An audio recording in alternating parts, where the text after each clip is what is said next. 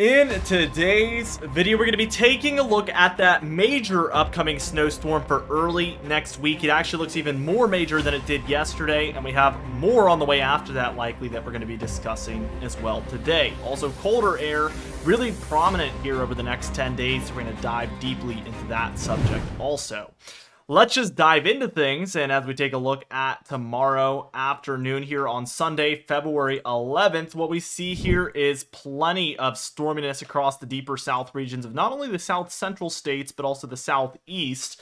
And what you'll notice is we do have this low over eastern Texas. This is what we've been talking about for days now. We see snowfall across New Mexico, Texas, and Oklahoma.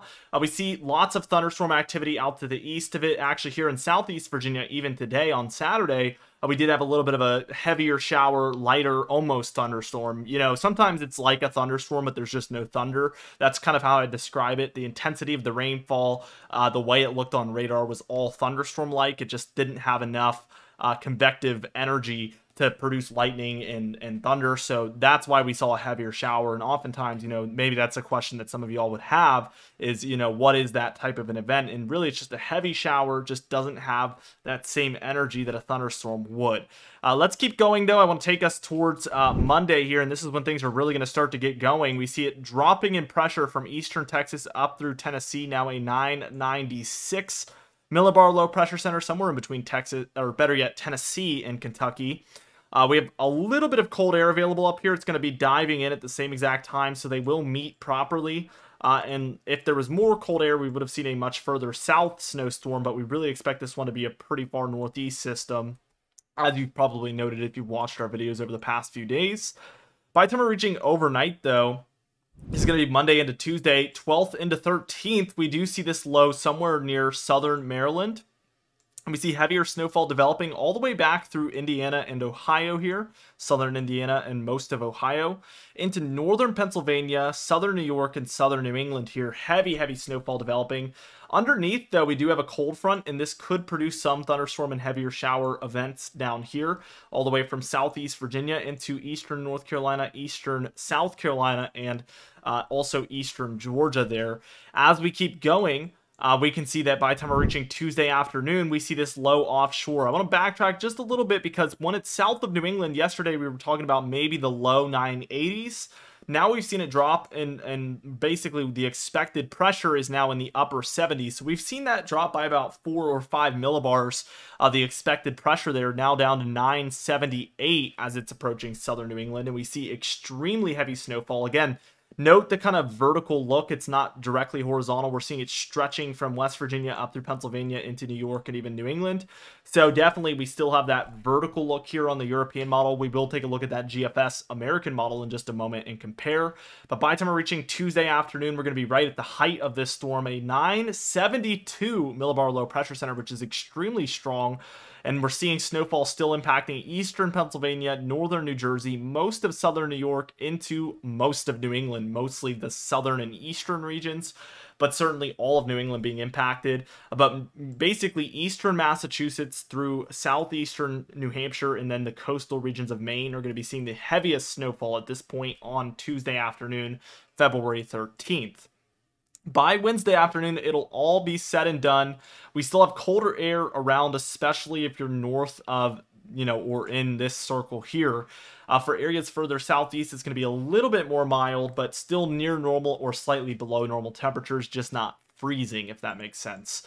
As we take this towards Thursday, because Wednesday is overall a pretty quiet day, we do see some snowfall around for the Midwest and Great Lakes here. We see heavier snowfall for Wisconsin and the upper peninsula of Michigan, and also the lower peninsula of Michigan down there seeing some snowfall as well at this point. By the time we're reaching Friday, what we see is more cold air on the way for the east. Although what I would say is we have a pretty flat northern jet stream somewhere in here. So we're seeing some colder air for the northwest and also for the north central and also the northeast, which if you've watched our videos for a long time now, you would note that it's pretty rare to see all corners of the nation basically in the northern half seeing cold temperatures, but that's what we're seeing. Uh, we're seeing a lot of high pressure. I don't know why I just got so big. Uh, let me shrink that down for a second here so we can actually see what's going on. Uh, we see a lot of high pressure and warmth pushing northward for the southwest, the south central with this storm here as well, and then also the southeast. So there's just this equal push from the north and south across the board from the western states through the central and even into the eastern states here. This is kind of the look here. I think the key feature here is going to be this southern storm. I want to see how this interacts with the cold. Again, I kind of told you guys yesterday, I usually watch this stuff with you guys and don't dive too deeply into it before I make the video. So we're kind of unveiling this together. There's also a northern piece of energy over the Rockies here. And if this meets up uh, with this southern piece, obviously we could get some very interesting interaction there in an even more major storm. So let's see what happens. And sure enough, I mean, it really doesn't meet up with it, so scratch that idea. And really what happens is we have the cold up here, we have the storminess down here, but you see they don't overlap. Uh, the storm and the cold kind of stay separated, and we maybe get a tiny bit of mixing or lighter snowfall happening in Tennessee, Kentucky, Virginia, or North Carolina, or maybe all four. Uh, but it would be a lighter snowfall event if this is the look. Uh, we do mix over to more and more snowfall there. I guess we do get a little bit of a heavier area in Virginia at some point with this storm, but really it has more potential than what we just looked at. I think that this could turn into something much bigger. And then we get a very interesting kind of pattern where we have this massive trough especially over the central states where this is extremely deep cold. And then we have storms really riding straight northward along this. And what happens is we get this heavier snowfall for portions of Illinois, Indiana, Michigan, Upper Peninsula, Michigan, and even Wisconsin. Keep in mind, though, I mean, storms like this do struggle with mixing issues, especially this west to east kind of snowfall rainfall line. Definitely, this could be a messy storm. Uh, and eventually, it gets even messier as it really just transitions into a full coast, coastal storm here, uh, where we get snowfall in this corridor by the time we're taking a look at Tuesday on the 20th. We do have a secondary low up here, the 996 over Canada, and then a 985 up there uh, offshore of the Northeast. And what we get is a pretty wide stretching snowstorm for Canada and the northeastern states, as well as portions of the Ohio Valley, Great Lakes, and Mid Atlantic as well. Uh, keep in mind, this is very far out, so we're going to want to take it with a grain of salt. But, you know, anything a model is showing is technically possible, and we want to consider this a possibility. But I mean, what we're left with here on the 20th is a lot of warmth and again, high pressure here, indicating a positive PNA for the southwest. And this is causing all of this cold air to slip into the eastern states as we're seeing here. Uh, ideally, what you'd be seeing is warmth all the way along that western coast. And if we saw warmth even up there, you would see an even deeper dive of this cold air in the east. It's coming in a little bit more slanted. We still get enough cold air here, but definitely it would have been much more if it was a straight north to south look like this. That's the most ideal positive PNA pattern you can look for. Jetstream doing something like this as opposed to doing something more like this. This is much more of what we're getting. The interesting thing is you could get storms riding along this and kind of coming inland, which does create some pretty massive snowstorms across the mid-Atlantic and Northeast. Sometimes it's a pretty rare pattern, uh, but we'll have to watch and see. Now, the GFS model, as we move forward, I just want to take us to this upcoming storm, and everything almost looks identical, even down to the vertical look uh, where we have a much less horizontal look here on the GFS model, and it's kind of coming in line with what the European model was showing. So once again, the European model beating out that GFS model. But keep in mind, we have a 984 here south of New England. Remember, the European model showed a 978. So we're looking at a storm that's about 6 millibars weaker here on this GFS model. But regardless of that, we still get a very heavy snowfall event from Ohio into Pennsylvania, New York, and southern New England here by this point. And even by Tuesday afternoon, let's see if it looks similar to that uh, European model. It does, but it's still about 6 millibars weaker uh, at a 978 millibar storm. Again, eastern Pennsylvania, northern New Jersey, southern New York, and southern New England seeing that heavy, heavy snowfall are still by uh, Tuesday afternoon there. So pretty good agreement. Just the intensity is a little bit off, but location is almost identical, as you could probably note. The tilt has all come into line, so we have great agreement for a storm that's about three days out. Uh, let's keep moving on, and what we see is that southern piece of energy, and it does interact here. Uh, keep in mind, remember the GF or the European model had this, and it also had this, but what happened is that this one kind of fizzled out, and then we saw this system just slide directly to the east, and they didn't get that interaction in there. Uh, but what we're going to see here on the GFS model is that this piece of energy kind of moves more northward. This one combines with it, and then we obviously have the cold air here over the northeast, so we get a big old storm here potentially. So let's watch it play out. Again, this is by Saturday on the 17th. This is by uh, Sunday on the 18th, and what we get is a massive coastal system. 990 millibar low pressure center, some pretty cold air below freezing at least here for the mid Atlantic and Northeast. And what we get is another heavy coastal storm system. Uh, they're riding up all the way along the coast. We even get another one. This one's a little bit further northward and not as organized, but we do get snowfall here for the Northeast again for Wednesday on the 21st. And then as we keep going, we get another even further north system. And then it looks like uh, we have another system moving through. And finally, around the 26th, we return to a cold in the west pattern, warm in the east pattern. Uh, so definitely that would still be very long lived. That's about 15 days from now until we see this model switch us to a cold in the west, warm in the east pattern. But still, you want to take this with a grain of salt. I do think that, you know, sometime between the 20th and uh, the 30 or not the 30th, the 28th of February, of course. I, I, think that at some point between those times we will see a switch back to cold in the west, warm in the east, just because these patterns they can't last forever. So to be realistic, you know, I expect 10 to 15 days from now we will see an end of that, of course. Uh, but still, uh, take this with a grain of salt, as sometimes these models get these pattern changes a little bit off. Usually they'll end up happening if a model or if all the models are suggesting it, but sometimes the timing can be off, as we've probably all noticed this year. Uh, we can see that there's still quite a bit of precipitation expected out west, but I think the biggest thing here is this southeast into the northeast. Uh, heavy, heavy precipitation. It's all because of this storm flow coming through here pretty consistently. Total snowfall through the entire model run, we're going to see a ton out west, as we've seen all winter long, of course. Even the Midwest and Ohio Valley and Great Lakes getting a lot here. And then, of course, the Mid-Atlantic up through the Northeast. What I want to do is I want to zoom into the Northeast. And now that we're seeing multiple snowstorms pop up, what I want to do is I want to rewind this to where we just get our first snowstorm. So this is going to be the European models forecast for this upcoming Monday, Tuesday system. And what we see is a bullseye of about 15 to 20 inches, stretching all the way from north central Pennsylvania through southern New York and into southern New England, there, even extending into what I would call central New England.